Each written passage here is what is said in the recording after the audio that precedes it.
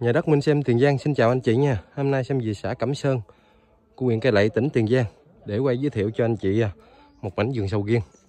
Chủ à, sẽ cắt cây bán cho mình là 1.000 mét vuông nha anh chị. Đây, mảnh vườn sầu riêng mình rất là tươi tốt luôn. nè.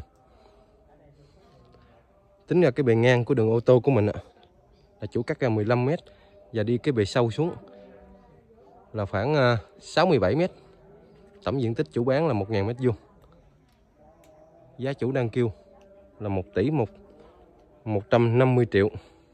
Coi như là tỷ mốt 50 á, anh chị. Đó, sầu riêng mình còn tươi tốt nha.